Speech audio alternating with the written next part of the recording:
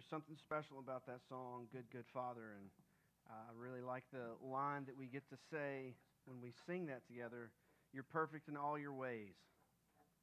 You're perfect in all your ways. As a father, many of you who are fathers, um, we're not perfect in all our ways. In fact, we're far from it. And God is our Father as well, and He is gracious and kind to forgive. And I'm thankful for that because I need it. because being a father is difficult. Being a father is uh, one of the greatest joys in my life. I feel like that's like everything else is secondary almost. Especially when you have been a dad long enough. Like some of you young guys that are just kind of stepping into fatherhood, it's like this is kind of new territory for me. And um, I feel like every single thing in my life has something to do with something with my kids or something like everything. Like every, everything that I'm involved with, everything that I'm a part of, everything that I think about, everything that we do. Um, just just a while ago, I was thinking of, um, you know, just as as you get older and you think about little things that your father has said or done, or maybe you didn't have a great relationship with your dad. Like my, I didn't have a terrific relationship with my dad, and and so as I was, uh, you know, during the um, that song, like at the beginning of that song, I was in the back, and and uh, one of the things that I do is kind of goofy because I do a lot of goofy stuff. Is I like to do my own like um, percussion kind of thing. So I'm, I'm, if I'm listening to music or something, like I, I play guitar on my seatbelt. And so I like make like the the little like shaker noises sometimes with my hands and stuff like that. I do I do stuff like that. It's weird, I know. Strange. And so as I was back there, I saw Rain. She looked at me. She started doing it. So she was like, you know, as Caitlin was shaking the shaker up here, and it sounded really good. Rain had her own little shaker going. If you just rub, like, put your hands together, try it. I'm, I'm not super weird. Go ahead, just try this. Like, you just rub your hands together. You can hear, like, the shh, shh, shh, shh, okay? that's kind of one of my things, right? And so um, my kids are, I guess they grow up and, you know, when they're old one day, they're going to be listening to music and they're going to be like, yeah, my dad used to like rub the seatbelt and make like the shaker noises and stuff like that. What a gift it is to be a dad. I mean, it's just, it's, it's, it's very amazing. And I'm grateful that God has graciously given me an amazing wife and given me amazing kids. Um, tonight, we're going to jump into the next section in James, um, which is, is pretty difficult. Last week, we talked about, uh, I believe probably last week was, was pretty instructive to me, but also pretty challenging. We talked about two big character traits that, that mark somebody who is an authentic Christian. And those two big character traits, if you remember, they were wisdom and humility. They said those are two huge things that should mark the life of a Christian so that when someone looks at them or around them long enough, they say, well, they're authentic. They're the real deal. They're the real thing. For one, is this character trait of wisdom and humility just kind of shines forth in their life. But not just character traits, but actions, things that we do. This week, tonight, what we're going to look at, we're looking at several actions. And so I told you that the book of James almost functions like the, like the Proverbs of the New Testament. There's just a lot of like little, little chopped up things where like you can take one you can, you can take just part of a verse, and there's just one little thought and part of a verse that's just like, if you just do that, man, that could be life changing right there. Not even a whole verse, it's just like four or five words together. And it's like a command where James is like, Pop, do this. And it is, can be absolutely life altering. I don't know about you, but growing up in, in school, like, and I've heard people say that they're good at taking tests. Anybody, you ever heard anybody say that? They're just a good test taker. Those people aren't good test takers, they're smart, okay? If you were like me growing up and you were not a good test taker, that means you're not as smart as the good test takers. And you can say what you want, and I understand, I get it, but like I was the guy that was not a good test taker. In fact, when I took the ACT, I didn't finish. I'm just like, I'm done. And I went through the end of it like this ACDC, ACDC, ACDC, ACDC. And I turned it over and I said, I'm done. ACDC all the way to the end. That's how I finished the ACT. And I'm not going to tell you what I made because it was 19 not enough, okay? James chapter 1, verses 19, and then we'll go through several verses tonight. But, but there's, just, there's just something about this little package of scripture right here that I think that like, it's time for me, in the middle of our series so far, this is part four, it's time for me to give you a test, okay? Time for a pop quiz. It's time for a test. Are y'all excited? Are you nervous? When you come into the class, the teacher's like, close your books, put them up. It's time for a pop quiz. Like, I'm melted when that happened. In fact, I was like, I'm going to slip out. Like I escaped class sometimes. I skipped school in the middle of class because the teacher. No, I didn't do that. Don't do that, kids. It's a bad idea. So we're going to we're going to ask ourselves some questions. All right. We're going to take a test tonight. We're going to see how well you do with taking tests. It's only six questions. I promise it's not that hard. We've studied. You're going to do okay. I feel like I'm talking to you like a class. It's going to be all right though. But God's word. The Bible does that sometimes. It gives us like like some type of mirror to look into, and we're like, yeah, I, that's I'm, I don't get it. Like I'm not getting it. I'm failing it. This is not me. I'm not measuring up. So let's look at some of these, and I think we're going to need help with these. So let's let's let's pray first, and then we'll jump into James chapter one, starting in verse 19. God, we thank you for your word. God, I thank you for helping us. God, as we uh, look to your word tonight, God, I pray that you would open up our ears and our heart to receive, God, what you would have for us tonight. Lord, we love you. We pray this in your good name. Amen. James chapter 1, verse 19. So the first question How do you respond to frustrating people and circumstances? It's a good question, right? How do you respond? This is your first question on the test class. How do you respond to frustrating people and circumstances? Some of you do a little better than others with this, but also some of you have more frustrating people in your life and more frustrating circumstances in your life. You know, uh, as you know, we have five kids, and not so much because most of my kids are in the room, but there can be times that are frustrating. But I told you last week, um, you know, I was I was thinking about how sometimes Cam, our four-year-old, sometimes he can be pretty frustrating. But then I told you last week about a friend of mine who I'm still praying for about his son, who's four, I believe he's four, um, has this inoperable brain tumor. And he is he just began treatment and he's not responding well to treatment. In fact, like the fluid is swelling and the tumor is swelling and he's not doing good. Now, I was thinking about that as I was frustrated with Cameron today, and I'm, I'm thinking some of the whining and stuff that's getting on my nerves, that's probably a little better than something else that could be going on.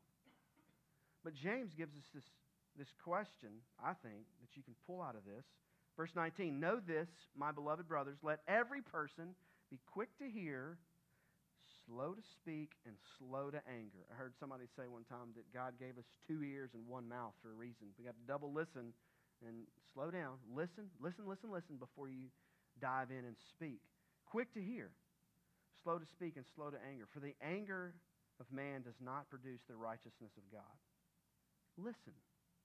Listen to God. Listen to others. Slow down. And so as I was thinking about this passage, like what kind of what what's God getting to with this this thought right here? And I think it really is how do, how do you how do you that's the question for the quiz is how do you respond to the frustrating people and the frustrating circumstances in your life? I think a lot of people, uh, they get angry quick. They're quick to anger. And I find myself sometimes getting quick to anger, especially if I'm like on the road and people are driving not like me. That's when I get mad. You can drive like you. I'm fine if you drive like you, just as long as your driving is a lot like my driving. Because if everybody drove like me, we would, it, would, it would be fantastic, right?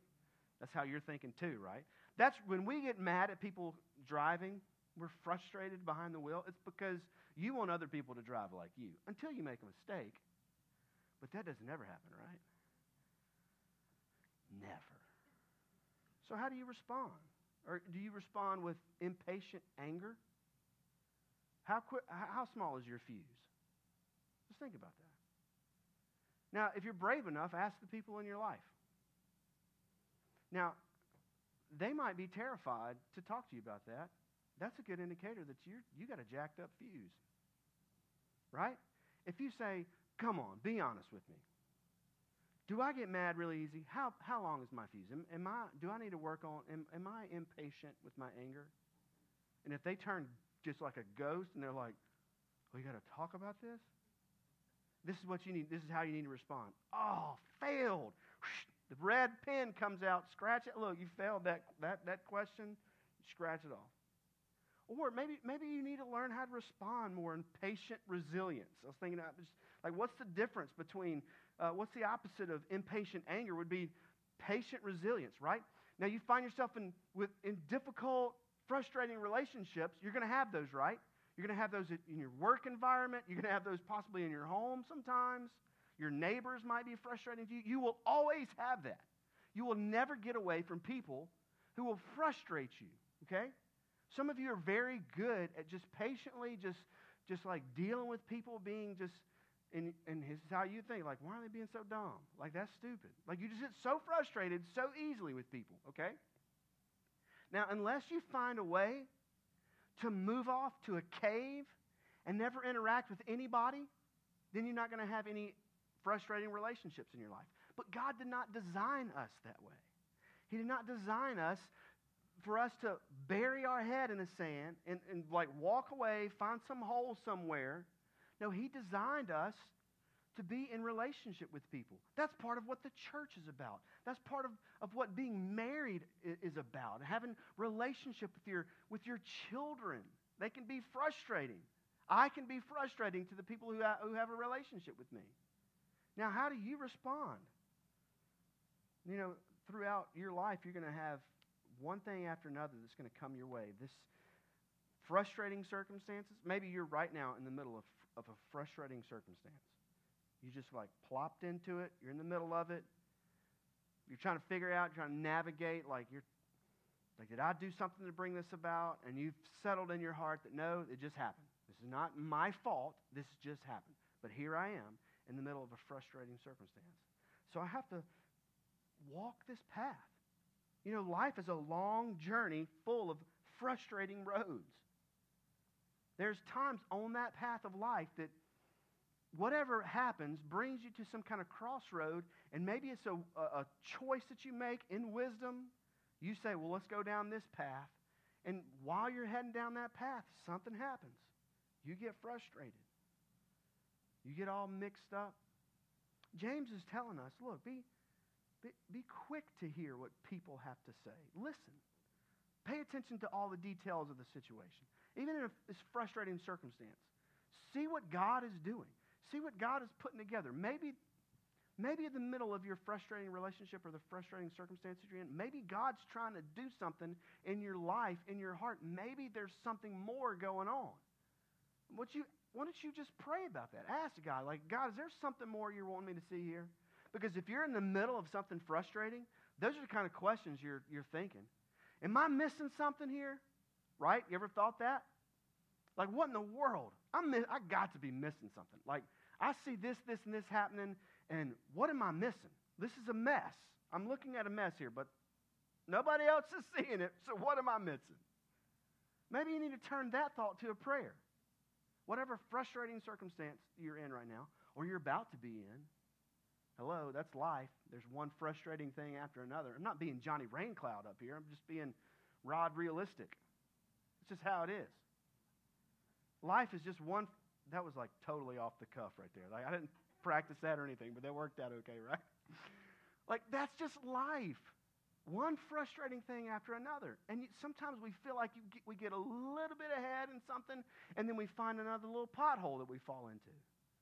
And you're like, what in the world? What am I missing here? Turn that to a prayer. Ask God that. In the midst of your frustrating circumstance, ask God, like, what am I, what am I missing here? Because here's what it says right after that. Be, so be quick to hear, slow to speak, slow to anger. It says, For the anger of man doesn't produce the righteousness of God. So anger produces something, right? From your anger, something happens. Now, from your anger, you learn how to do something, like let the steam out some other way, but anger always produces something. Hopefully, anger teaches us how to grow in the righteousness of God as we persevere in this patient resilience that we all need. So just take 10 deep breaths, slow down before you speak, hear people. I read a book uh, a couple years back. It was really good. It was more like a psychology book, so most of y'all probably be like, nope, I'm out.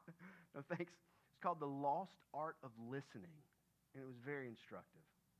Every person, I think, and it has any kind of relationship or anything, that it'd be helpful to read that. Learn how to listen to your kids. Learn how to listen to your coworkers, your neighbor, your wife, all that kind of stuff. Question number two. Let's keep going. This is a hard test, y'all. Whew. Question number two. On a scale of 1 to 10, how would you rate purity in your life? Yikes. How well are you doing so far? Just calm down. No, don't sweat. It's not that hard of a test. First question, you might have missed it. You might do better on this one. Maybe not, huh? How would you rate yourself? Scale of 1 to 10. Doing great? And I would say if, if there's a chance that if you hear that question and you're like, oh, pff, I got this, 10, there's something maybe that you don't realize. Because when you're talking about purity in your life, we're talking about purity of, of heart, purity of thought, purity of speech. So if somebody in your life has a relationship with you that is one of those relationships of full disclosure. Hopefully, you have people in your life. Absolute full disclosure. Can you go to that person and, and just be open and honest about just the issues of purity in your life? If you would, if you would be embarrassed to just lay it all out in front of a trusted friend, if you'd be embarrassed. I mean, let's just be honest. Like if we if we look at this question, we're like, man, that's, you went there. On a scale of 1 to 10, can we go backwards? Can we go negative 18 on this scale? I mean, if we're smart and we've lived long enough, uh, did anybody in here get above maybe a 5 or 6 maybe? I mean, I don't know. If you did, I, would like to chat with you. I want to learn. Especially when you start talking about like all the avenues that purity touches in your life. All of it. Everything from just how you look at somebody to how you look at your finances. Like purity goes through every avenue of your life. And on one to ten scale, like how we doing? So James says, therefore, put away all filthiness and rampant wickedness, and receive with meekness the implanted word which is able to save your souls. Job 4, Job asked this question Can mortal man be in the right before God? Can a man be pure before his maker? Now, if you've read through Job, you know Job asked a lot of questions. He's in the midst of a very suffering, terrible, frustrating circumstance. He's got a lot of questions. And he's got some frustrating relationships in his life. So purity comes up. Can anybody be pure before God at all? Ever? Whatsoever? Psalm 12, 6. The words of the Lord are pure. I don't think these are coming up on the screen. I don't think I put them in the slideshow. But the Bible says in Psalm 12, 6, the words of the Lord are pure, like silver refined in the furnace, on the ground purified seven times. Psalm 119, 9. We've read this before. How can a young man keep his way pure? By guarding it according to your word. So when you ask yourself, scale of 1 to 10, how, how you doing with purity in your life? A lot of that question, a lot of that conversation has a lot to do with how much scriptural intake, commitment, love, devotion to God's words. It's, very, it's a very simple concept, yet it is one of the most difficult, challenging things that we can experience in our whole life. Because we all desire purity in our life. No one would stand up and be like, nope, I want to be wor- I want to be filthy. I want to be dirty. I want God to look at me and say, gross. No, nobody would, nobody thinks like that. And the, the, it's very simple, though, yet extremely difficult. God's word, it says right here in Psalm 199. How can a young, how can a young man keep his way pure? By guarding it according to the word. God's word in your life is like the ramparts, it's like the walls set up with sharp eyed marksmen awake and alert and on point. When something impure starts creeping in, they are scoped in, ready to take it out. And those shots, those watchmen, that's just Bible. That's just the Word of God, just filtering and filtering and filtering. It's like a washing. It's like a washing and a washing. It'd be like if you took your dirty car to the car wash and you drove through, and there's a couple of workers out there, and they're like, all right, see you later. No, I'm going back through. Okay. Got another car wash, and you're like, and the guy's like, did it work that time? Oh, yeah, but I'm going back through. It's probably still a little bit more dirty. I'm going to go back and you just keep, like all day, you just go through the car wash. Everybody's going to think you're crazy. I'm going to think you're crazy. Spending a lot of money on 14,000 car washes. But if you take God's word, which is way better than a car wash, it's a soul wash, and it just rinses and cleans. It's like the bleach of our heart. Every time I've ever had a conversation with somebody that's just breaking apart in an area of, of purity, a lot of times I'll, I'll, I'll take a side to her and say, Well, tell me about how, how much Bible you're, you're reading and studying and memorizing. That's one of the things that kept me spiritually alive when I was in college. Because I moved into the dorms and had a pastor friend of mine before I moved into the dorms because I was thinking that God wanted me to do ministry. And he looked at me square in the eye and said, You need to study and read the Bible at least two hours every single day. You're crazy. Okay, I'll do it. Then I went and moved into the dorms. A bunch of guys, and it was crazy. Dorms were crazy. And there was things that other guys were doing that I did not go near touching. I'd go in my room and I'd open my Bible and have my little pad and I was like making notes and stuff like that. And my door was open and craziness was happening out in the hallway. I'm telling you, I know this for a fact. God's Word. The more you press it in, the more the unsanitary, filthy stuff presses out. It's got no place in your heart. Just receive that implanted Word. Your purity in heart will always be tied to your commitment to Scripture. Put away filthiness. The way you do that is receive the Word. All right, we like our test here. Question number three True or false? Most of the time when I read or hear the Word of God, I do what it says. Every time, most of the time. True or false? Don't answer it out loud. Because if you answer it out loud, you know, you might look great or look not great. Depends on what you say. But uh, probably both those answers might not make you look great, right? False. I never do what it says. Or if you say true, I do what it says every time. People are going to look at you like, no, you don't. Especially if you sit next to your wife. She'll be, no, you do not but be doers of the. But I am not right now. Okay, so good. No one's there to elbow you, right? James 1:22, but be doers of the word, not hearers only, deceiving yourself. For if anyone is a hearer of the word and not a doer, he's like a man that looks intently at his natural face in a mirror. For he looks at himself and goes away and at once forgets what he was like. That's an interesting analogy that James gives us. So if you are not in just who you are in your life, if you're not doing what the Bible says, if you're just hearing it, James is like, then you're like that guy that looks in the mirror and then walks away. He's like, wait a minute. What am I? Who am I supposed to be? But the one who looks into the perfect law, the law of liberty and freedom, and perseveres, being no hearer who forgets, but a doer who acts, he will be blessed in his doing. I love this promise with this. If you commit yourself to read the Bible, hear the Bible, and then say, okay, this is what God says, now I'm going to apply it to my life. I'm going to do that. And then the Bible says, if you do, then you're going to be blessed. Now, blessed in our culture today, if someone, if I were to look at you and I, and I were to say, there's going to be, I know this, God showed me last night in my prayer time tomorrow God is going to pour out a huge blessing on you. Like if I was one of those one of those guys and I could like make like pronounce that on your life or something like that, here's probably what you were you'd be thinking.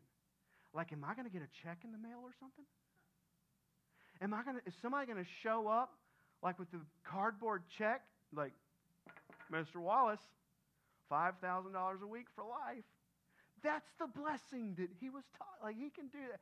See, here's the thing. Like, when, when, when the Bible says he will be blessed in all of his doing, painfully, just unfortunately, the truth in our culture in the West, in America, when we think we are greatly blessed, we always think of it like it's some kind of financial check or something like that, some kind of some kind of like gift, like a nugget or something like that. You're you're mowing the yard and you stump your toe and you look at it, it's a big gold nugget, 14 pounds. You're like, what a blessing, right? Now that could be a curse. But see, being blessed is way different according to what the Bible says, it has nothing to do with, with money. Now, it might be an avenue that God can use through some kind of financial something, but it doesn't mean that he'll be, he'll be rewarded financially in all that he does because he's doing what the Bible says. Because here's the thing you study the Bible long enough, you study the New Testament long enough, and if you were to look at the way of Christ and you were like, I'm going to do everything that that says, then there's a good chance you might not have a whole lot of money on this on this planet. But you'll be blessed. You'll be blessed beyond what you can even describe to people. So, most of the time, when I read the Bible, do I do what it says? Here's some things. Now, some of you are thinking, like, well, I don't know. Well, the Bible talks about abstaining from the appearances of evil. What? And I know that's hard for some people because, like, well, that's for like those holy huddle Christians that are like, whatever we do, we can't even look like we're doing, we're up to something naughty. And it, you know, causes people to stay far away from certain things. But the Bible does say that. So what does that even mean? Was, did Jesus do a bad job of that? Because he was hanging out with some pretty rough people. He actually invited some of the roughest people to be his closest friends. So did he stay away from the appearance of evil? He was a friend of sinner and a friend of holiness. See, you can abstain from the appearance of evil, but also be a friend of holiness. That's a balance. That's a hard balance to find. So, but the Bible says that. So, how are you doing with that? What about just sharing the Word of God with people? Just sharing the gospel with people. We see it over and over and over. Jesus gives a command to his followers to, to go out and make disciples. You've heard that before. Are you doing that? So you're asking me true or false when I read the word, do I do what it says? What about Bible talks about in Romans 16 to, to avoid troublemakers? What about when it talks about don't be unequally yoked with unbelievers? What about when it says do everything without complaining or murmuring? You complain a lot?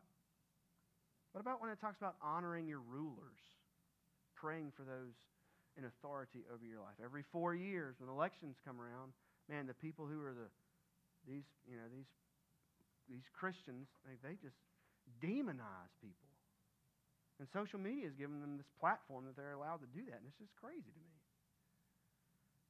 When, when like Paul and Peter, when he would say you have to honor the emperor, he is not honorable. I am not honoring the emperor. Yeah, you are, because that's what the Bible tells. Don't let your left hand know what the right hand is doing. What if you did something incredibly generous for somebody? Here's probably what a lot of us would do. Would be like, man, I had this, and you'd post it on your feed. What a great experience I had today. I was able to, man, I was able to meet this guy who's, who's, ha- who was having some problems. We were able to help him. Sometimes it's good to do things in secret. God honors the good deeds done in secret. What about when Bible says pray for your enemies? Some of you are like, well, I don't have any enemies. Well, if you did, would you pray good things for them? That's what it, that's what it means when it says pray for your enemies. It doesn't mean pray that God would drop a meteor on their house. You did pray for them, right? No, pray blessings in their life. That's hard. Are you doing what it says? Study to show yourself approved? The Bible tells us, us that. When's the last time you're like, I'm going to do this Bible study? And it's going to take 30, 45 minutes a night. I'm going to study through it. I'm going to like, and what, when's the last time you're like, I'm going to plow through numbers? You know, there's a lot in the Bible that, you know, little details that God has it there for a reason. What about not seeking the approval of man? So many times, so many of us, the biggest issue that we, one of the biggest issues we got in our lives is just having the approval of man in our life. God says, don't, you don't seek the approval of man, you seek the approval of God. So when we see passages like that, and we study some of those, we ask the question most of the time when I read or hear the Word of God, I do what it says. How's it look, we're just on question four. Is this a tough test? Question number four. How well do you control your words? Verse 26 of James. If anyone thinks he's religious and does not bridle his tongue, it deceives his heart, this person's religion is worthless. What do you, what, what do you say?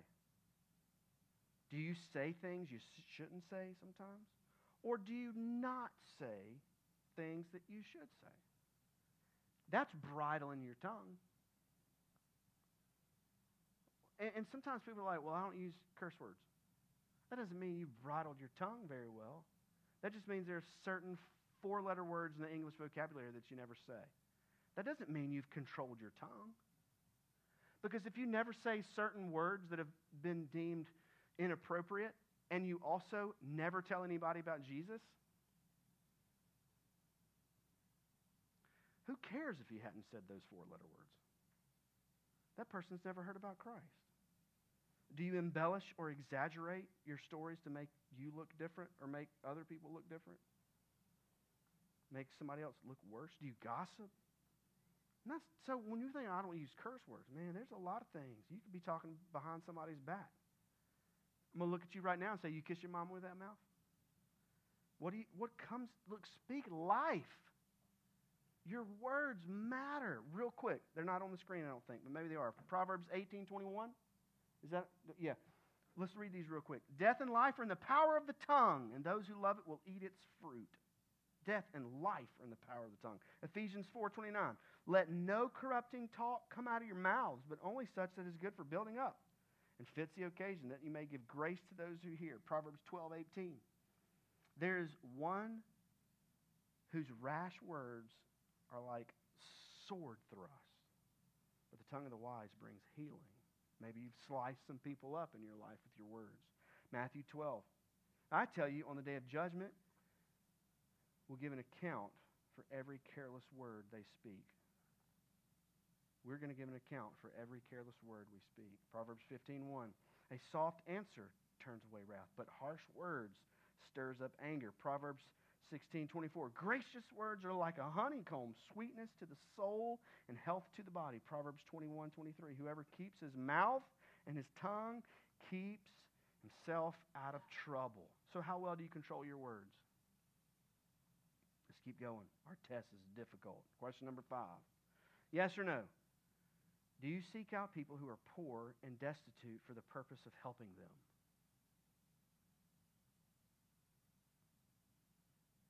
Next verse in James. Religion that is pure and undefiled before God, God the Father, is this to visit orphans and widows in their affliction. I think it's very peculiar the way that's worded to visit orphans and widows in their affliction. I mean, so does that mean that to, for me to be like, check, nailed it, that means I just got to go to an orphanage and just poke my head and say, hey, all right, I'm going to go over here to this old folks' home now.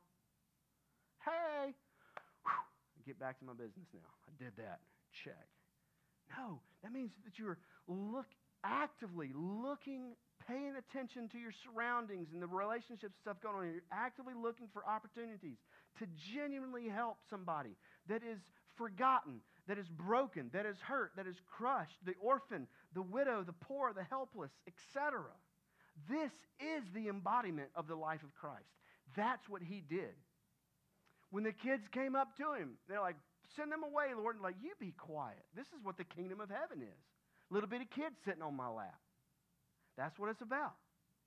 And the orphan and the widow come to Jesus, the one who is destitute and hopeless, the leper, the person that nobody wanted to be around. Jesus went to the leper colony and embraced them, actively seeking opportunities to find somebody that is broken in a sense and go in, and help them.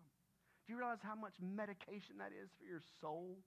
If you're struggling or wrestling through like times of just mental weariness, maybe depression, anxiety, just feeling kind of crushed a lot, if you pour yourself out for somebody that's hopeless, it will help you.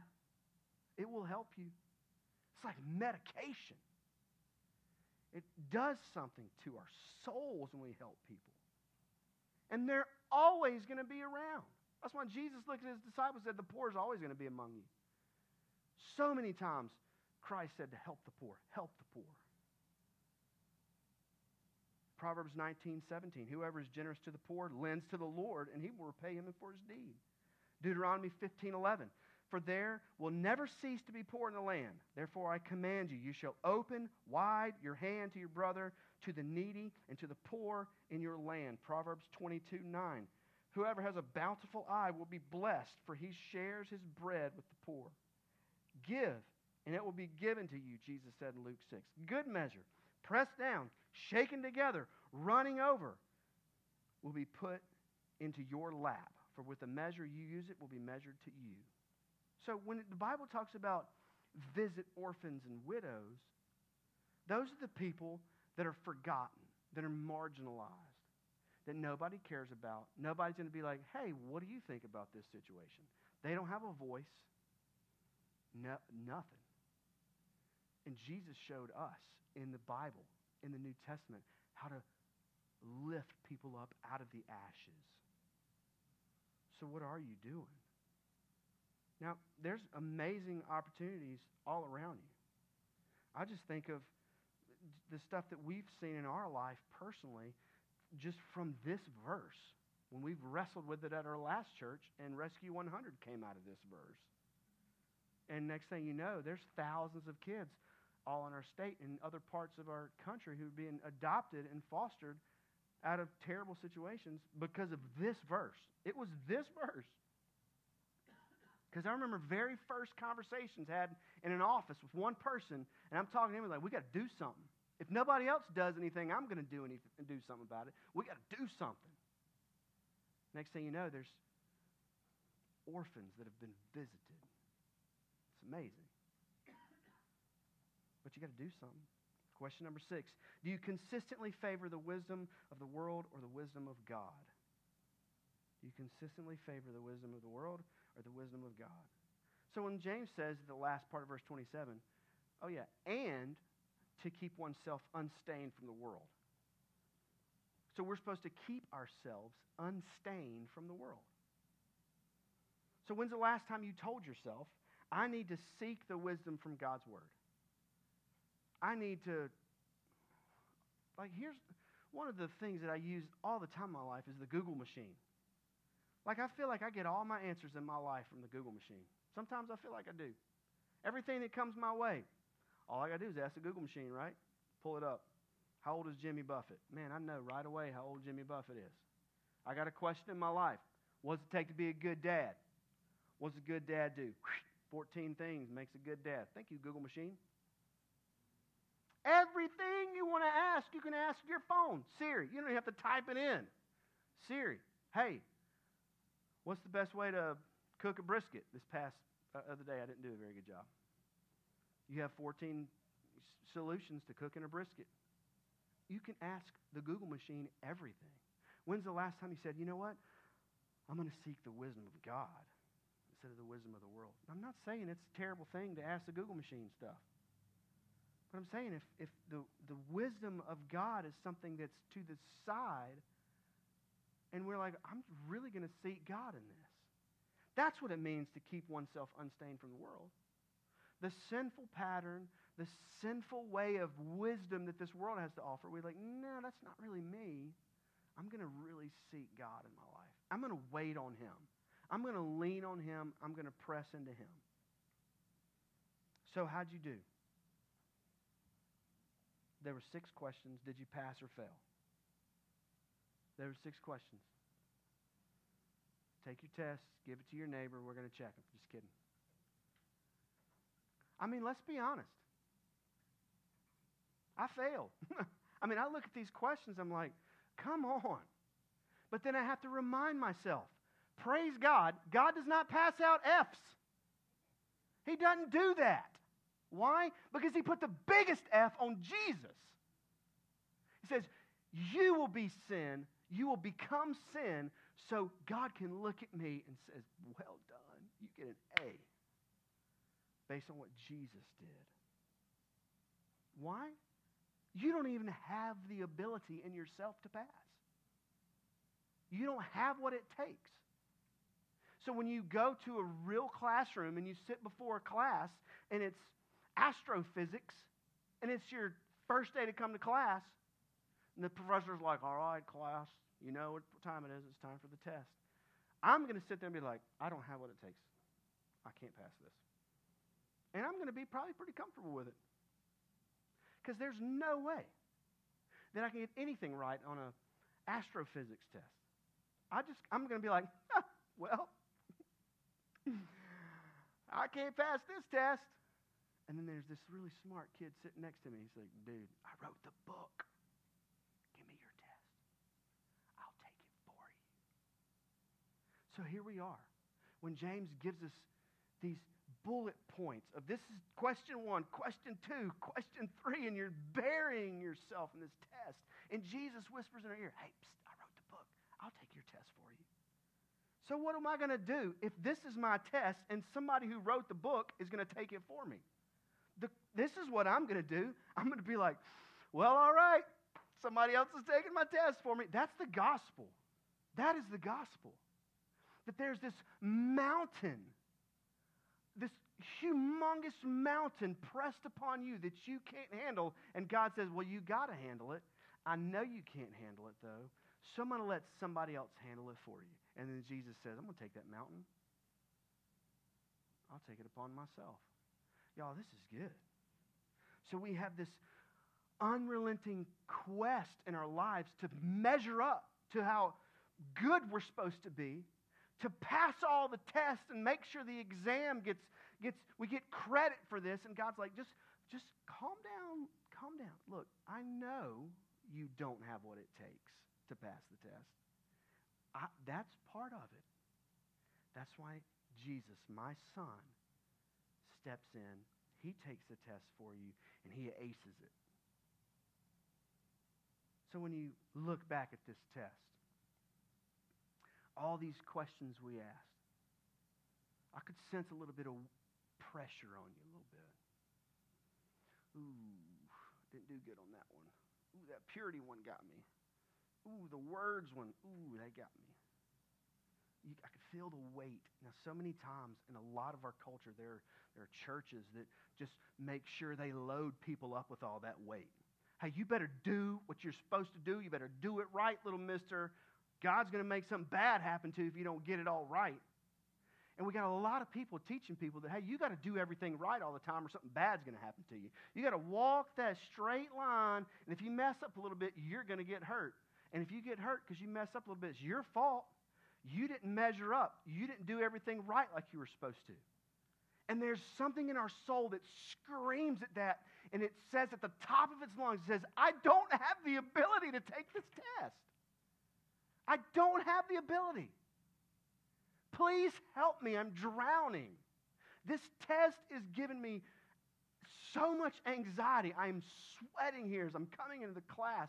Like I pause before I walk into the classroom. take a deep breath and I walk in and I just melt because I can't do this. And God's like, why are y'all worked up? Look, I'll take care of it. Jesus took the test that you failed in the garden in Genesis 3. Jesus took the test in the garden. He passed. He died on the cross. He paid your penalty. Therefore, you're free to go. A plus, out the door.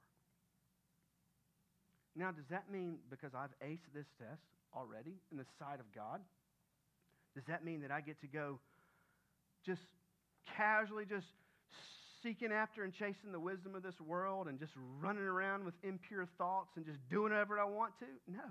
Why? Because the weight of my exam was on him. Therefore, what I should do is be like, well, now you've accomplished everything I'm supposed to in God's word, so I'm not, I'm, I'm with you. I'm, wherever you go, whatever you say, man, I'm going to do whatever I can to love you and obey your commandments. Not to, to win some kind of favor from you, but because you've already done everything that gives me favor. So I have the weight off me to accomplish everything that God wants for me to accomplish in His Word. I got the weight off of me. I got the star sticker, A plus, and now I'm just like, well, I'm, I'm with Him now. I'm going to go wherever He goes. So I'm going to stay close to Him. He finished the test for me. Whatever, I'm going to, I'm to be like, hey, can you help me out with this? I got, an, I got something else coming away. What do I do here? Like you got to be close enough to the master test taker so whenever something comes your way, he just reaches across. I, I got that too. I got that too. Something else is going to come your way. Someone's going to nail you this week. Give it to Jesus. He's got that too. Don't let Satan trick you to think that you, you're not measuring up in God's eyes because you're failing at something in the law. That's why Jesus died. You don't have to re crucify him because you feel bad every time you can't measure up. Chalk it up to grace. A plus. Walk out the door in freedom. Paul wrote entire books based on freedom of the gospel. And we forget it every time, all the time. So, beloved, friends, family, I love you. I'm telling you this because you keep forgetting you already got an A. You keep forgetting it. I keep forgetting it. A plus. You passed. When God looks at you right now, does he, does he look at you like, oof? Does he look at you like he's unpleased with your performance? Right now? If you, if you paint God in that light, if you say, well, right now God looks at me and he's very unpleased with my performance, you're missing the point of the gospel. And Jesus is whispering in your heart, He's saying, Why did I die then? If I took everything, all the requirements of the law upon me, I lived the perfect life that you couldn't live, and then I died the criminal's death that you deserve, then what are we talking about here? But we have to continually remind our hearts of the gospel. We need to submit ourselves in every way to the master test taker because he's good. Praise God. Jesus aced the test. Let's pray. God, thank you. Thank you. Thank you.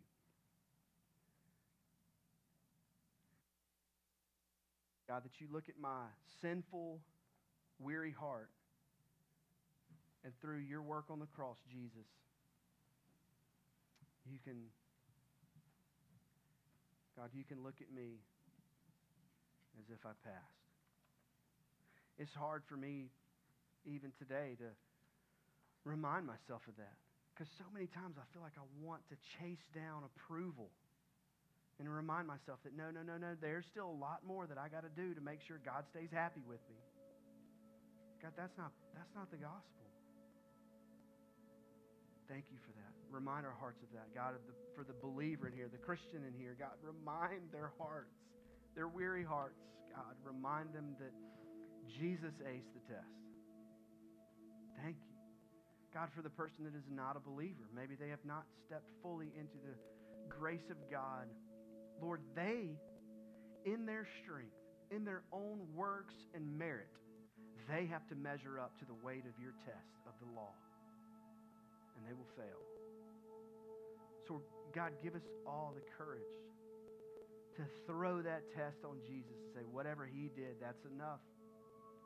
So, God, for the unbeliever, the person that, doesn't know you as their friend, their God, their Savior, Lord, I pray that you would awaken their heart to the truth of what you did in their life, God, and they would have the courage and the boldness to respond in faith and follow you every single day of their lives. Thank you. Pray this in your good name. Amen. Amen. We're going to sing another song. If there's anything you'd like for me to pray with you about, I'll be standing in the back, but let's worship.